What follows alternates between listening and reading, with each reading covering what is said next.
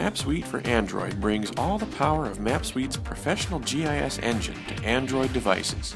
Using the Xamarin development platform, you can write powerful Android apps in C Sharp using the Microsoft .NET framework.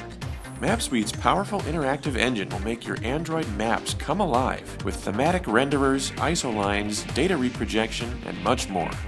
On your Android device, use your fingers or a stylus to pan and zoom your maps and explore complex datasets in industry standard formats like shapefile, tab, and more.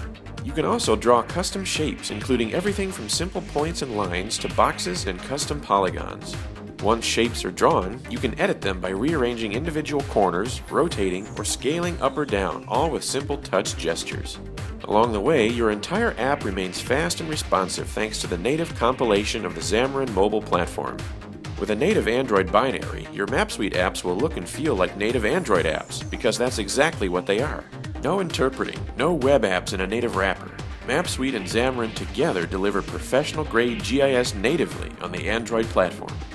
To find out how you can start developing your next project with MapSuite for Android, call us now toll free at 866 847 7510. If you're outside North America, dial 1 785 727 4133 or email sales at thinkgeo.com.